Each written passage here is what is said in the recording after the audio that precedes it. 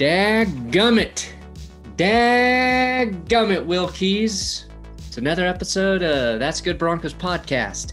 Philly Rivers announces his retirement today. The same day, a certain president also had to retire. Quite fitting. Uh, we've got some Broncos news to dive into. New GM introduced himself.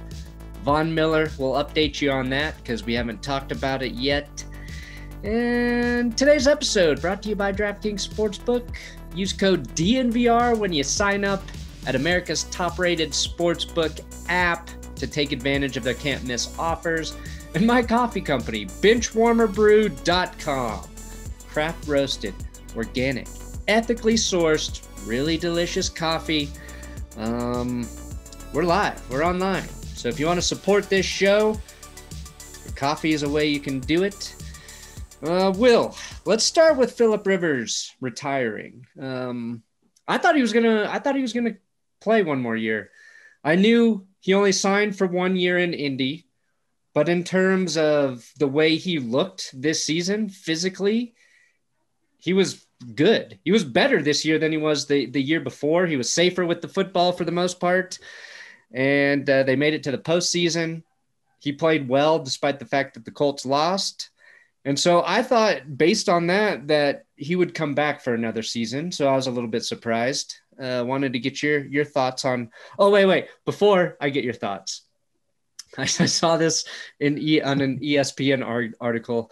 Philip Rivers waited until January twentieth to announce his retirement because it's the Roman Catholic Church's boning day for Saint Sebastian, often referred to as the patron saint of procreation. So very fitting for Philip Rivers to choose this day specifically. Is that true? Because that saint had anything to do with being considered the saint of athletes. What I said is the truth, just so everybody knows. Okay.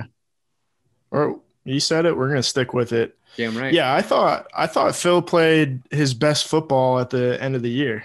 Yeah. And I think I thought he played really well in that playoff game came up short as he often does in those situations, but this time um, it wasn't mostly his fault.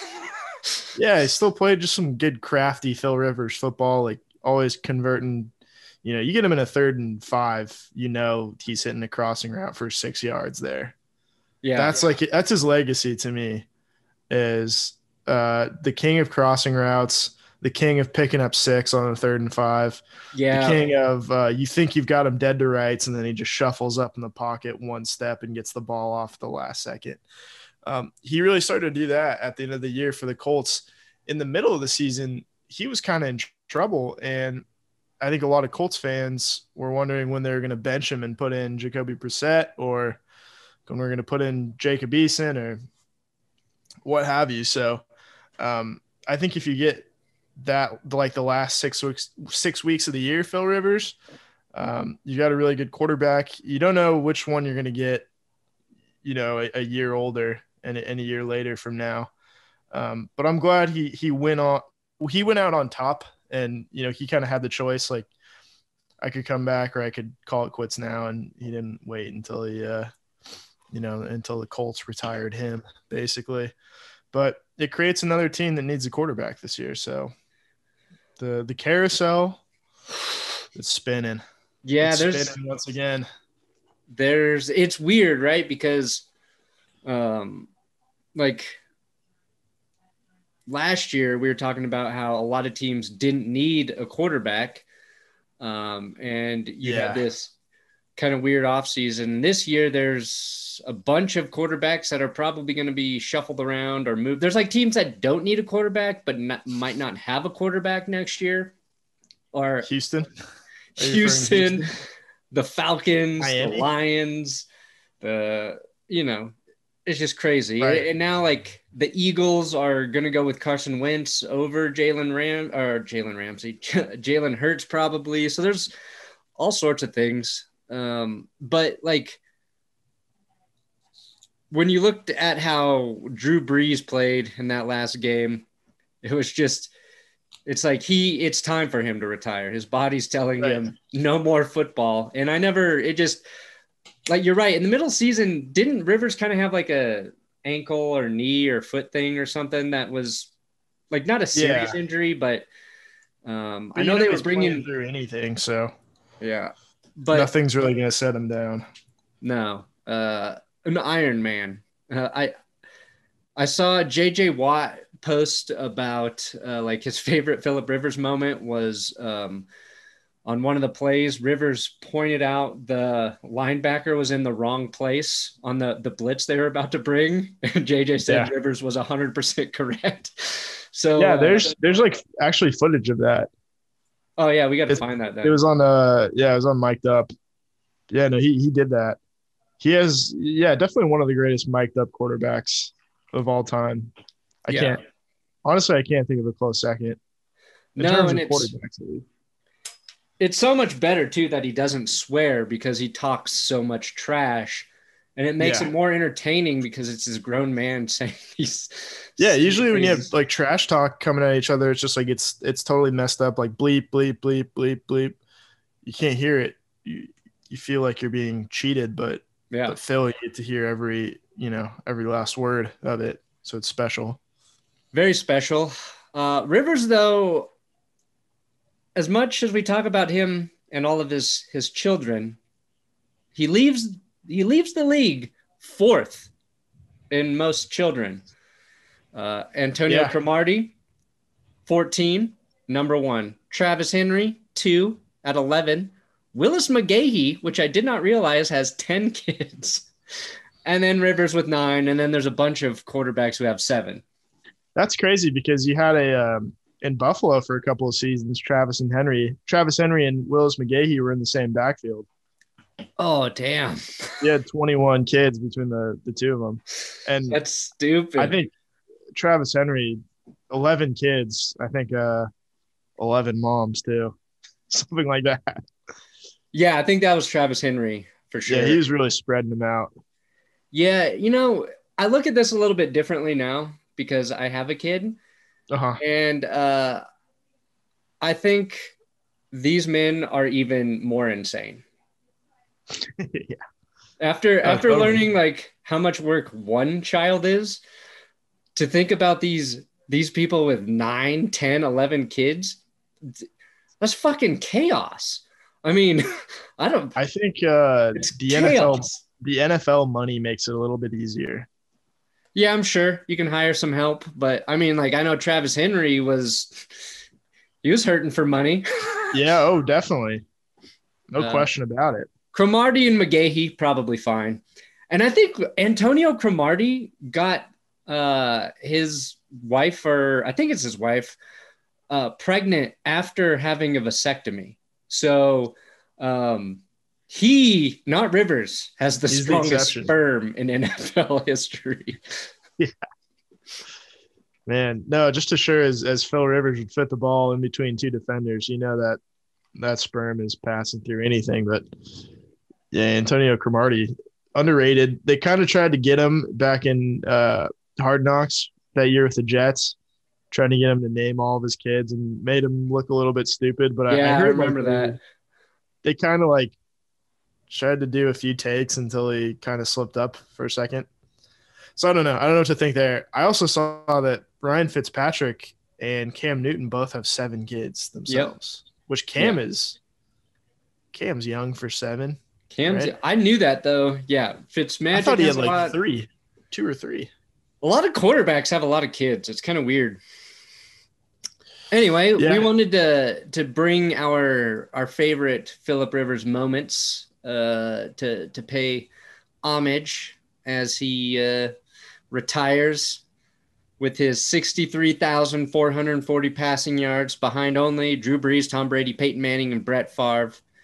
Eight Pro Bowl Pro Bowls, uh, fifth in league history with 421 touchdown passes.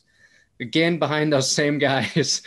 Um, so when you think about Philip Rivers, uh, we obviously have beaten the fourth quarter interceptions thing over the head. The dead horse is dead. I would, well, I would argue he did that. Yeah, he did that, and I was looking. Uh, I, I watched like a couple of Philip Rivers videos this morning, and one of them was just. Uh, it was like Oh, four it minutes of Philip Philip Rivers fucking choking up. for three minutes. Yeah, yeah, Yeah, yeah. I watched the same one before before I came on. I was like, oh fuck, he really, it to you. he really did. He really did throw Yeah. a lot of bad passes in the fourth quarter. It wasn't just a narrative. It, no, it's it's very much the truth. yeah. It was a thing. I think like if you're gonna talk, if you're gonna have a Hall of Fame debate against him, that's a good reason why, even though he has all those numbers, which don't get me wrong are impressive, but if you hang around long enough in the NFL, you're gonna get some some pretty big numbers.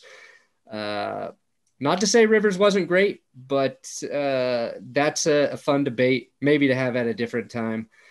Um, but we'll just go back and forth with some of our favorite moments. I didn't rank them in any real order. Yeah, I, I'm. You know, I I don't want to um, choose who's my favorite child Right. out of all these memories. I just kind of want to um, experience and and and remember and, and love all of them equally. But I'll let you. I'll let you start. Uh, I'll start with one of my favorite Philip Rivers moments was him blowing a 24 to 0 lead to Peyton Manning in 2012. He ended up throwing four interceptions in that game. Chargers had six turnovers as the Broncos went into halftime down 24 points. Can you Just- name all four? Can you name the people who who picked off Phil Rivers in that game? Mm, Chris Harris? Yep. Champ Bailey? Nope. Ooh.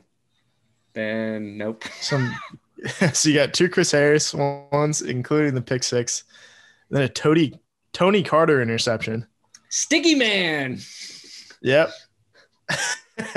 and then Jim Leonhard. Jim Leonhard. Yeah. Oh. Was he playing safety or linebacker? He was playing safety slash punt returner. Punt Returner. yeah. I remember Jim Leonhard. And I watched that with John Nah. I watched that game with John Nah, who No we've had on this podcast. uh, and I've never seen somebody go from being so confident to just miserable. Like not even mad, just fucking depressed. I've got a photo of him from that game where he's just looking at his phone, sitting in the corner. It's kind of dark and alone in my apartment corner. Uh, I felt bad for him, uh, but that's when I was like, Peyton Manning is this team. This team's because we were about to drop we were about to drop to like two and four yeah. and start questioning things and they didn't they didn't lose for the rest of the regular season after that Yep. so that was yeah that's great um just for uh the sake of diversity and i think you had this too so we'll, we'll talk about this one together but monday night football back in december 2007 he was yelling at jay cutler he and a couple other guys were yelling at jay cutler who was by himself in the middle of the field and uh, I think that's when we all came together to really, really hate Philip Rivers Yeah. for a while. That's when I was like, this dude's a this guy is disrespectful to my Broncos. I shall hate him forever. And uh He did look, he did come off like a huge pussy in that clip. Though. Like there's no getting around it. no, you, We it- forgive him, but uh, I hated Rivers. wasn't a great look for him. I hated Philip Rivers about as much as I hated Tom Brady at one point. I did too. Yeah. So, but like once you realized he was never a threat, it became comical. So yeah, yeah, he became a tragic figure, and I'll I'll probably pinpoint where he did become a tragic figure, but um, yeah, the Jay? Cutler feud. Yeah, I think so. Okay.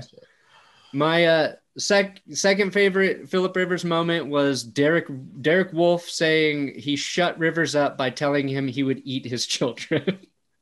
That was I saw Ryan Green uh, retweet that that clip today or tweet that clip today, and it is it's it's it's simultaneously Derek Wolfe's best moment uh, and my Philip Rivers best moment. That was a great one. I'm gonna go with that mic'd up clip from last year, 2019, Chargers at Jacksonville, and Phil Rivers throws a 90 yard little bubble screen touchdown to Austin Ekeler, gets up after getting knocked down by Yannick Ngakoue and yells like 90 yard touchdown in his face. I think it was only like an 84 yard touchdown, so chill out, Phil. Uh, and like Bill Vinovich, the ref, kind of separates them. He's like, "You don't have to get in my ear." He's like, "I will get in your ear." he does that shit and like just stomps around like an idiot. Uh, and it's just, that's just Phil. Yeah, Uh, I'm pretty that's sure. Phil getting hyped up at a you know blowout against the Jags. Yeah, I'm pretty sure like Ngakoue just started laughing by the end of that that thing. Yeah, yeah, Um, yeah, that was It's a like, great what the hell am I supposed to do? I'm on the Jags.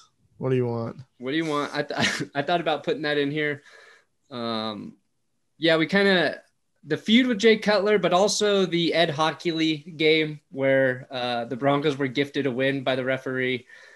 Uh, Yep. Philip Rivers not happy on the sideline. If I recall, I remember him like freaking out in that game. I was Uh, pretty happy. Yeah, I watched that one up up in the mountains. It's like when you remember those games that for me that are that long ago, you know they're they're important. Like I was at my buddy's cabin and just looking like we were Yeah. gonna lose that game, and then we were gonna have like a long drive home and just be pissed. But the Broncos get the win, and it was just like, it, all right, sweet. That was a terrific one. Um, I have the a game from 2015. The Broncos won 17 to three. Not a very exciting game, but Phil Rivers threw a pick six. And this is kind of where it, it became hard to hate him, and he just became kind of a tragic, pathetic figure in my eyes. Was Von Miller like holding him up by the collar, like right in front of the referee, late in that game? You can probably find images of it, but he just made Phil look so small for a second. And I was like, I don't like I I used to hate this man more than anybody uh, back in the mid 2000s, and it kind of just all evaporated after that. yeah, you saw his vul- vulnerability. So Yeah, absolutely. Um, one from this season was watching Philip Rivers get hurdled on a tackling attempt after a turnover to the Ravens. He just flops onto his back and tries to throw his hands up and gets leapt over. It was a, a Yeah. classic, It's it's a modern classic. yeah, modern classic. Rivers archives. Yeah, and then to round it out, we talked we talked about it, but just kind of that feeling in every Chargers or or late, you know, I'll even include some Colts games this year, but they're driving down, you know, a touchdown. They need to get in the end zone. It's late, like it's like kind of a sleepy point in the afternoon on a Sunday, and Phil throws a throws an ill-advised interception across the middle to end the game. So I could point to a million, you know, instances of that. But I would I would check out the the video that Brandon and I watched, which is Philip Rivers choking for three minutes. Yeah. And then That's why I did the search in YouTube. Uh, I think my number one, I said I didn't rank them, but I do have a, a overall best, and that was Philip Rivers being just good enough to get Drew Brees shipped to New Orleans. Because, Right. Yeah. you know, had Drew Brees not uh, went to New Orleans, I think he would have taken more advantage of having Antonio Gates and LaDainian Tomlinson on his offense. And, uh, you know, maybe we're talking about the Chargers having a Super Bowl victory or two in the AFC West, and they don't. So they'll they'll always be like the lovable loser little brother, you know, until they do get that Super Bowl victory, if they ever get that Super Bowl victory. Right. Yeah. No, John Lynch kind of was the reason that, yeah, the Saints have John Lynch to thank for a lot of things because he was the guy who injured Drew Brees' shoulder. Yep. Uh, I think if not for the shoulder, Drew Brees might have gone to Miami and, and been a Dolphin with Yeah. Nick Saban. And that And see that's instead, they chose Daunte Culpepper. that's a double-edged sword because well no it's just the dolphins fucked up. Because if drew brees went to the afc east maybe the patriots don't get as far as they do one or two seasons. You know what i mean? Maybe the dolphins Maybe. are a competitive team uh, that they face and maybe they get bounced one or two times from the playoffs or don't get into the playoffs. You just don't know just Yeah. I mean, I, I like the pairing of of Drew Brees and, and Sean Payton better than than Nick Saban, who uh, yeah, he quit. basically resigned a year later. So um, I, I think uh, history played out probably the way it was supposed to in that situation. Yeah, and obviously, like I was, I'm sure you felt the same way, but it was a little, it was very sad seeing Drew Brees at the end of the the Sunday game against the Buccaneers. Yeah, I guess. I uh don't get You're me probably wrong. blinded like- by watching watching Brady. I think I was just more pissed off that uh, the loyalty to Drew Brees kept him in the game, and they lost. So my anger would was not allowing me to feel sympathetic to Drew Brees's, you know, great career and that it Fair enough. it's over. Um, yeah, because no one was rooting harder for the Saints than you in that game. no, and I I was just so mad they lost.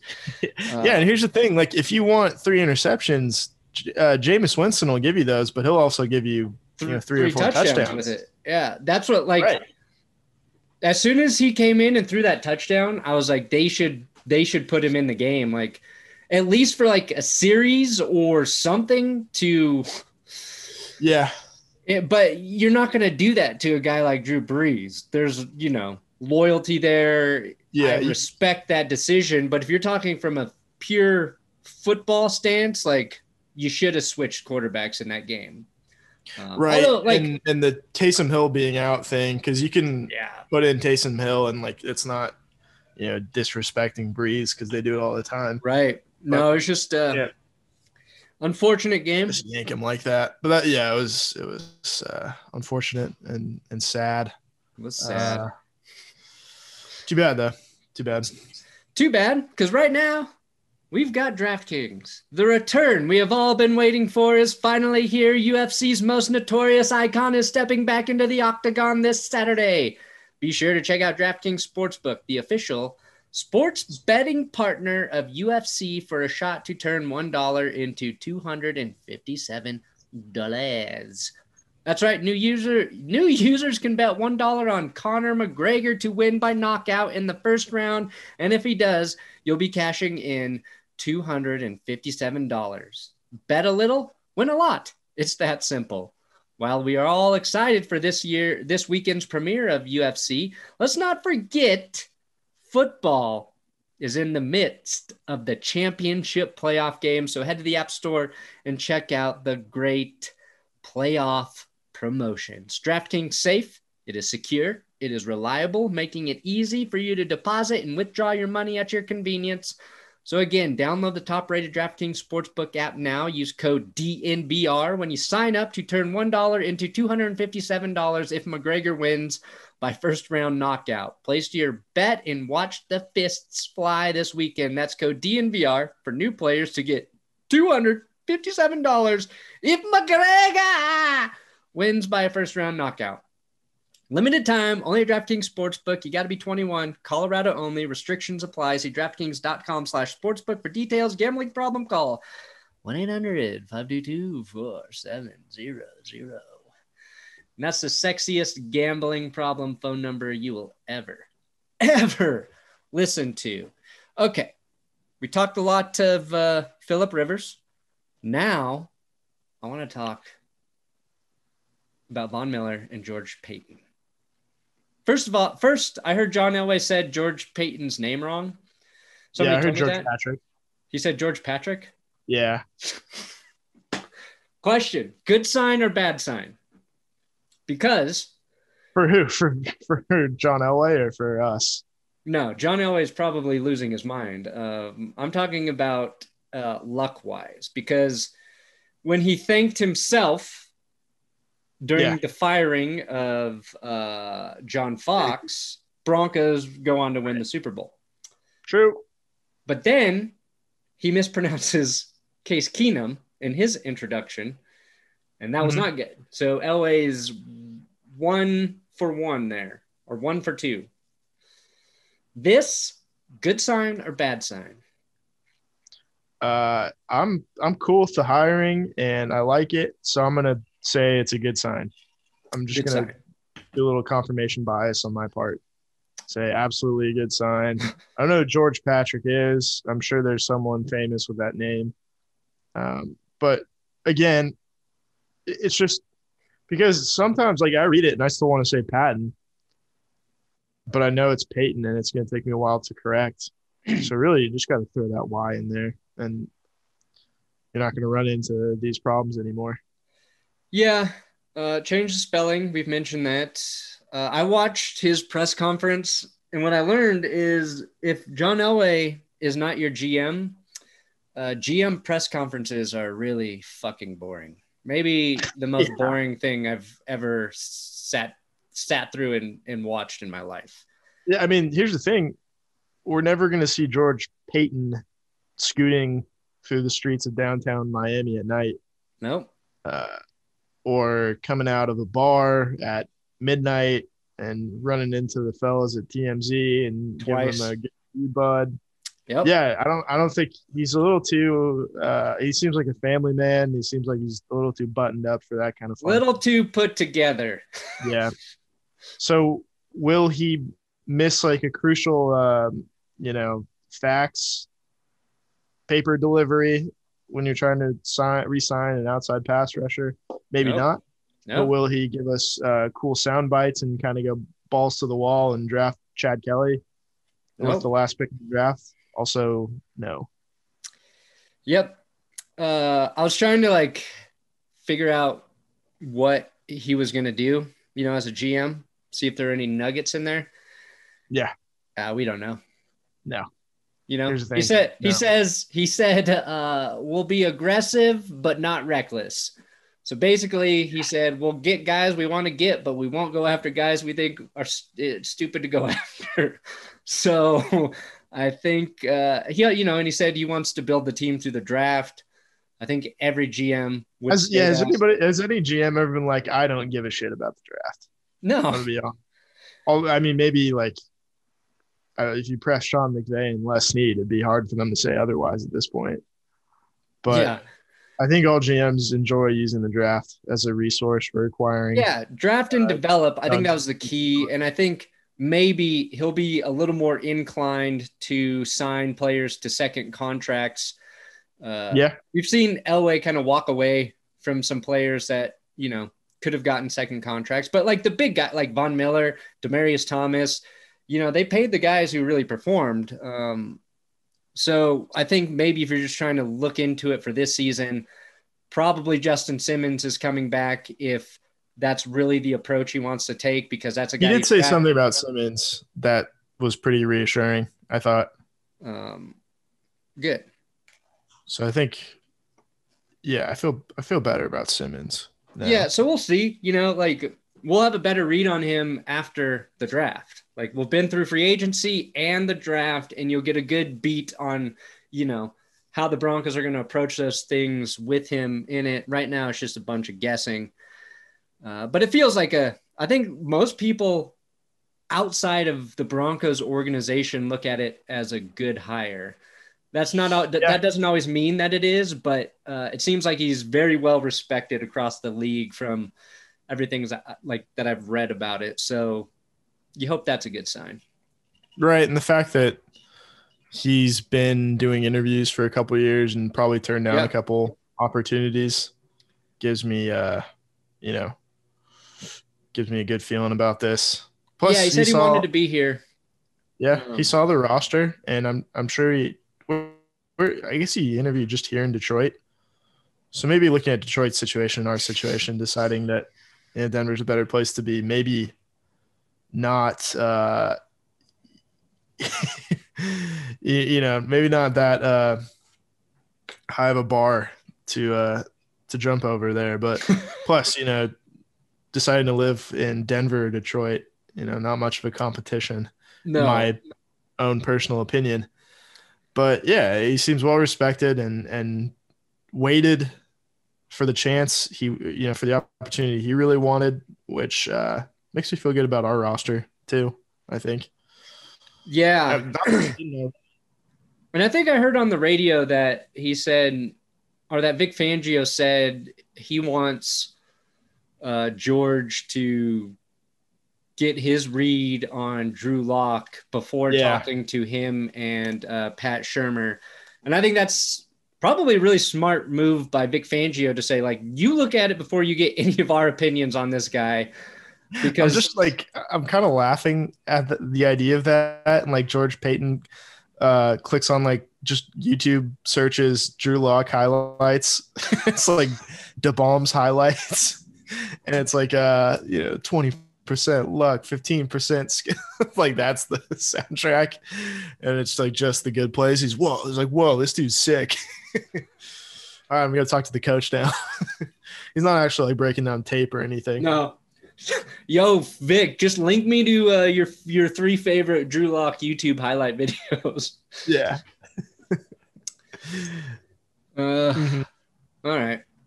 So we'll see what happens with old Georgie boy. Old uh, George. I mean, my I guess my last thing on on this subject is you probably just look at Minnesota and and their philosophy the last you know, 10 years and that'll be a pretty good indication. Not yeah. that he was responsible for everything there, but like people tend to generally like imitate um, their their role models and higher ups in those situations and he seems like he has a lot of respect for those people. So yeah, I think look forward to. And uh, you know, the Vikings have outside of they had offensive line issues for you know a really long time, like the Broncos, but um, they put together you know good rosters. They've drafted some really impactful players. Uh, and they've, you know, the and Stefon signed a lot of impactful players. Yeah, and the Diggs trade was like bold and it worked out, and so you just kind of hope undrafted guy too. What's that? Have, like found talent like the wide receivers. Like you get the a first rounder and Justin Jefferson, who's been great. Stefon Diggs, I think, is a fifth rounder, and then Adam Thielen was undrafted. Yeah.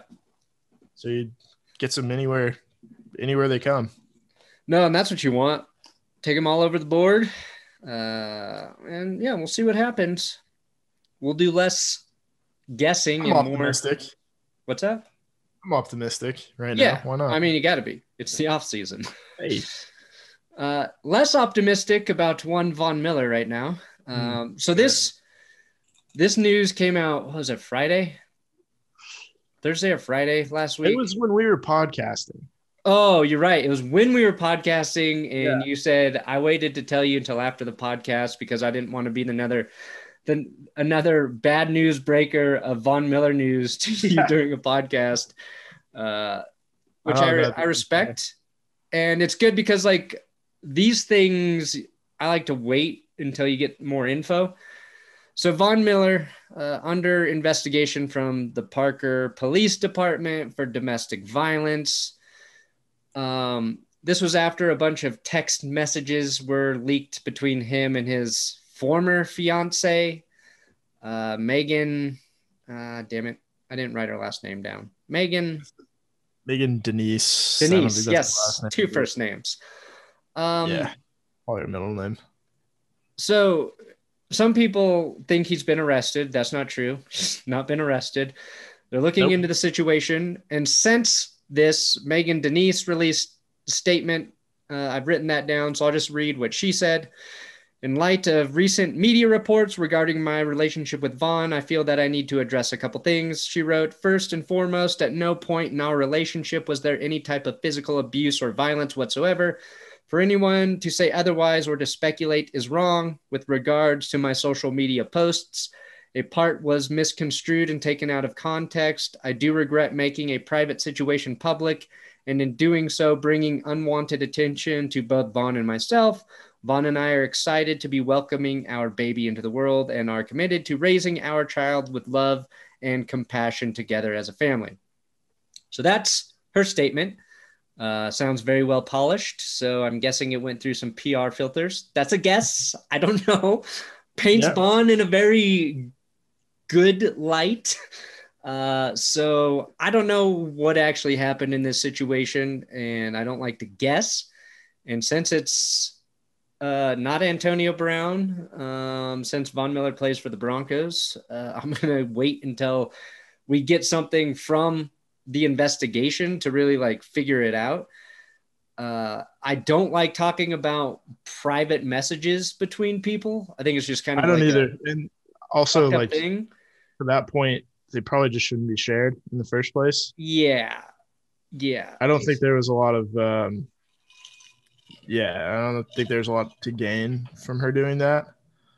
Um, it just puts a lot of pressure on Von, which could put pressure on her financially and could lead to some bad decisions. And you know, if there is something to conceal, that would lead to them concealing the truth about something, which makes it messier. And and that, this is why I like the Tyreek Hill. You know, the second Tyreek Hill thing got kind of fucked up, and people, you know, people are able to come, you know, decide whether or not you know their preferred narrative is the truth in this situation because you're hearing different things from different sides you don't know like uh people's incentive for saying certain things is. So it's messy and i don't want to think about it or deal with it as much as i can. Um but i think what boils down to at the end of the day is like if he is arrested for for something really bad like domestic violence or you know things of things of that nature um then i mean the choice at this point like it's pretty easy like you just have to let him go i think and that doesn't mean he can't play again or yeah um yeah. you know have a career afterwards or like you can't you know hope he gets better and and makes amends and can welcome him back at some point but if that's the case then you, you kind of just have to cut him loose and um that's that for a while, unfortunately. Yeah, but if we're gonna let it play out. We're gonna let you know. We're not gonna jump to any conclusions. That's kind of yeah. the point. I think it's a, it's it's very different if he actually gets charged for something because then yeah. you know they believe there's enough evidence where he could have done something. And so right. until you get to that point, it's you don't want to play the guessing game because the chances are you'll look stupid for saying something. Stupid. Yeah, like we're trying to speculate. Well, I mean, the point is, I think you and I aren't trying to speculate. Yeah, and it's like we can. If he did, if if if he's guilty of it, if he did some sort committed some sort of crime, domestic violence, and I don't want him yeah. on the team at all ever again. Like, it's if that's the facts, the the truth, right? So like I don't change that opinion based on a player's skill level or or talent or what he means to the team. Uh, it's just like one of those things you don't want as part of your organization. But again, they haven't gotten to that point yet. And right, you're not gonna like you're not gonna cut a guy over an investigation. No, you he, like, he may very well not be with the team regardless next season. Right. You know, for other well, reasons too. This is this is George Paton's first one of his yeah. big decisions yeah, he has to make. To the organization because like even if Von's innocent here, this is a kind of situation that gives you maybe the flexibility to move on from him if you think financially that's the best decision for the team to sort of shape you know the the personnel that you want and it's it's hard to say like how effective Von Miller will be next season coming back from a season long injury. Um, I think I would bet on Von Miller being good and being effective, uh, just because that's what we've seen from him in the past. And uh, the the hard part is this year with the salary cap coming down if you're going to be making 17 and a half million in room by moving on from him and that means you can definitely sign justin simmons you can bring shelby harris back and then maybe you know get another piece you want in free agency in a greater right. area of need then maybe that's that's this is the time to do it and you don't catch the backlash you might have you know gotten if you tried to do this with von miller uh this last but you know before the season or something yeah yeah like i think for Paton in a weird way like we don't want this to be the case obviously but if it did come out that like you know something bad happened it makes the decision very easy for him yeah and he gets like he gets to start his career um without that little footnote like oh he his first thing he did was you know, cut Von Miller. Then he signs, you know, Von Miller signs with the Chiefs and has 25 sacks the next season. So, you know, good going, idiot. It's like, no, well, he, did what he had to do. Um, yeah. It because right now you're in a spot where you're like, you probably can't trade Von Miller either. Yeah. I mean, I, I, I generally like, obviously, I hope that's not the case. um, but it very well could be. So we're Yeah. just thinking about the possibilities here. Um, we're not, you know, we're not judge, jury, and executioner here. No. Judge Judy and executioner. Judge Judy and And execution. we don't want to be. her new yeah. show. yeah, Judge does- Judy sentences does all of it. people to death and then murders them herself. Yeah. I don't think she does lethal injection either. I think she goes full like guillotine. Yeah, it, no, it's bloody. It's bloody. Yeah, and she gives a very condescending, like rolls her eyes look before she like pulls the thing and takes the head off. I've seen a lot of Judge Judy the last year. Uh, my wife, while she was pregnant and on Uh-huh. maternity leave, uh, enjoyed some daytime Judge Judy. So I'd walk downstairs and let me tell you, Judge Judy is funny. Judge Judy, she got some brass balls, and she don't she don't take no bullshit in her her courtroom. And No, there's no denying that. Yeah. like uh, I never paid attention to a show like that ever in my life. But like I'd be grabbing lunch and it would be on, and just some of the shit she would say to people. It's like an older woman just telling these young people how stupid they are a lot of the time. Uh, Yeah, it's it's pretty probably doesn't get the, the credit it deserves. It's very entertaining. I Well, see why that show's been on for like a hundred years. Yeah, I don't like. I don't think I've I've seen it, but I don't think I've ever like watched it on purpose. Yeah, I think usually the TV is set to Fox after uh, you know a late game, like World Series or or um, you know like a playoff game like last week, and then you turn it on the next day, and it's still Um, there. and it's still on Judge Judy.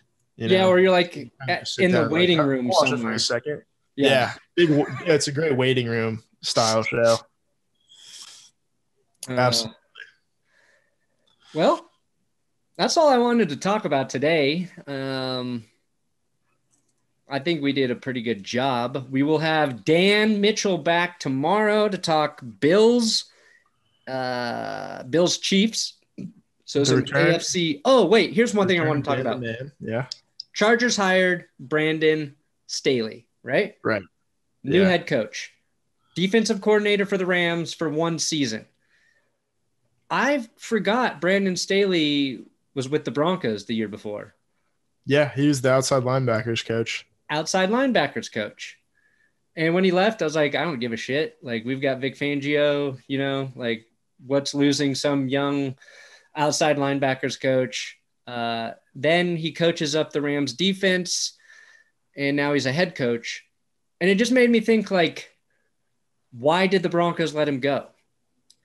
You know? Uh, I think they tried to keep him, or I don't know. I think it was one of those things where, like, they weren't gonna get, they weren't gonna promote him, Well, that's and that's the thing. Like, it's, and I'm not so saying any reason to get rid of Ed Donatell. You know, I guess. I mean, it's just could it might Uh, not be popular though. I think it was a thing where like they just like wanted to give him an opportunity to advance his career. yeah, no, that's nice. But it's uh doesn't help your your organization because maybe having him at defensive coordinator over at Donatell would have been the really smart thing to do. But maybe, you know, Vic Fangio he's comfortable with Ed Donatell. Like there's a relationship there. You're not going to break that up, right? But maybe that hinders you from bringing in a young gun who's now coaching the Chargers.